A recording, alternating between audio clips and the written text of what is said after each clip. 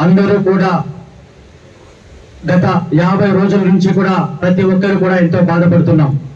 మన జాతీయ నాయకుడు నారా చంద్రబాబు నాయుడు గారిని అక్రమంగా స్కిల్ డెవలప్మెంట్ కేసులో ఇరికించేసి సో ఎటువంటి కేసు లేకున్నా కూడా సో యాభై రోజులుగా నిర్బంధించారు అంటే సో ఇది ఎంత దారుణమైన పరిస్థితితో ఈ రాష్ట్రంలో జరుగుతుందో మనమంతా కూడా గ్రహించాలి.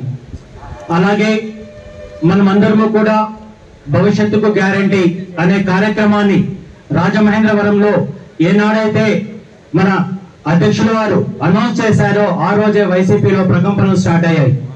అరే ఈ భవిష్యత్తు కని గ్యారంటీ అనే కార్యక్రమాన్ని ప్రజల్లోకి తెలుగుదేశం పార్టీ తీసుకెళ్ళగలిగితే ఖచ్చితంగా రెండు వేల ఇరవై నాలుగులో తెలుగుదేశం పార్టీ విన్ అవుతుంది. నారా చంద్రబాబు నాయుడు గారు ముఖ్యమంత్రి అవుతారని కక్షపూరితంగా రాజకీయ కుట్రతో నారా చంద్రబాబు నాయుడు గారిని అక్రమంగా అరెస్ట్ చేశారు.